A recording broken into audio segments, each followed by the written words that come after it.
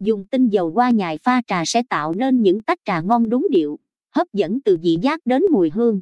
Đặc biệt bạn chỉ cần dùng vài giọt nhỏ tinh dầu hoa nhài pha trà là đã có thể thu về một ấm trà ngon, nhanh và tiện lợi hơn nhiều so với việc dùng trực tiếp hoa nhài. Cách chiết xuất nên tinh dầu hoa nhài pha trà.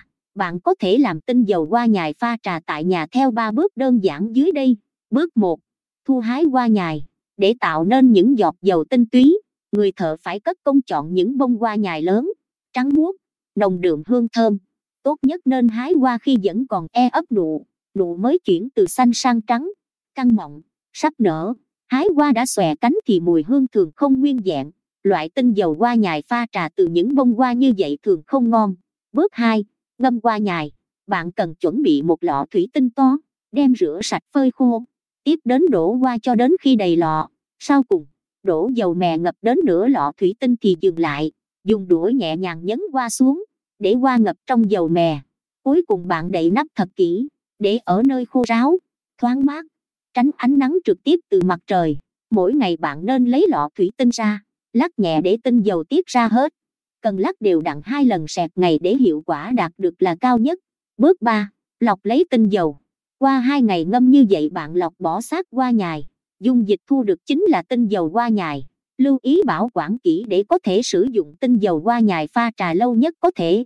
Lưu ý khi hái hoa nhài, bạn cũng nên chú ý hái hoa vào lúc sáng sớm hoặc chiều tối. Lúc này, cánh hoa còn ngậm sương đêm, nhiều dưỡng chất, đóng khép hờ đủ để lưu giữ mùi hương. Trưa được coi là thời điểm kỵ nhất để hái hoa bẻ cành. Hoa vừa héo, mất chất dinh dưỡng lại có hại cho sức khỏe cây trồng. Sau khi hái hoa xong, bạn lấy qua đi rửa nhẹ nhàng với nước. Nên rửa kỹ vì các bụi rất hay lẫn vào trong kẽ cánh. Ngoài ra, bạn cũng cần chú ý nhẹ tay để không làm dập nát cánh hoa. Hoa rửa xong cần để ráo, sau đó mới đem đi chiết xuất. Bạn có thể chiết xuất tinh dầu tại nhà.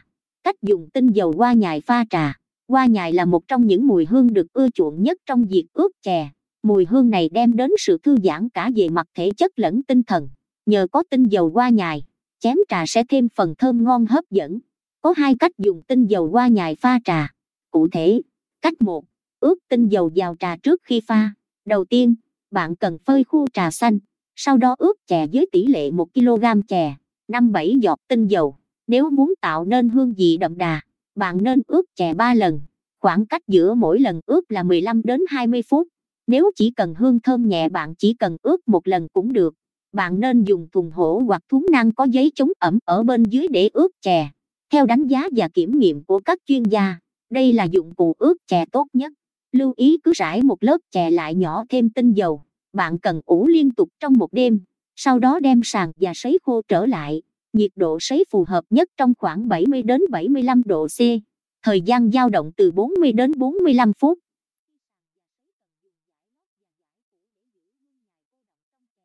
Tránh sự thăng hoa hương thơm, đợi chè nguội bạn nên tiếp tục ướp, sấy lần 2, lần 3 cho đến khi trà đạt được hương vị hoàn hảo. Khi dùng trà bạn sẽ cảm nhận được vị chát nhẹ của trà xanh, hương thơm dịu của hoa nhài. Dùng tinh dầu hoa nhài pha trà. Cách 2. Nhỏ tinh dầu vào nước trà. Với phương thức này, bạn cứ pha trà như bình thường. Sau khi pha nhỏ một, hai giọt tinh dầu vào bình trà để tạo mùi thơm. Liều lượng tinh dầu tùy thuộc vào lượng trà và sở thích hương thơm đậm nhạt của người uống. Với cách này bạn sẽ tiết kiệm được thời gian, công sức. Tuy nhiên, mùi hương sẽ không thực sự hòa quyện vào trà như khi ướp trực tiếp. Một số lưu ý nhỏ khi thưởng thức trà hoa nhài. Dùng tinh dầu hoa nhài pha trà sẽ tạo ra loại nước uống thơm ngon nếu bạn biết thưởng trà đúng cách. Sau đây là một số lưu ý nhỏ mà bạn cần lưu ý trong suốt quá trình uống trà hoa nhài khô. Trước khi thực sự uống bạn cần thưởng thức mùi thơm của trà trước đã. Khi uống nên chia thành ngụm nhỏ để cảm nhận hết vị ngon của trà. Không nên uống trà đã để qua đêm. Khi ấy trà đã biến chất, không an toàn với sức khỏe. Trà nên uống khi còn nóng, vừa mới pha xong. Bạn nên chú ý thưởng trà đúng cách. Dùng tinh dầu qua nhài pha trà sẽ giúp bạn có được tách trà thơm ngon thưởng thức mỗi sớm mai thức giấc.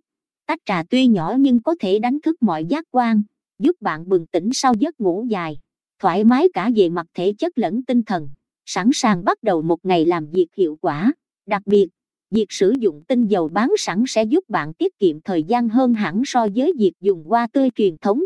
Chỉ cần tìm mua được tinh dầu chất lượng, an toàn là bạn có thể vui vẻ thưởng trà mỗi ngày. Tiết lộ cách dùng tinh dầu hoa nhài pha trà. Dùng tinh dầu hoa nhài pha trà sẽ tạo nên những tách trà ngon đúng điệu, hấp dẫn từ vị giác đến mùi hương. Đặc biệt bạn chỉ cần dùng vài giọt nhỏ tinh dầu, editor retin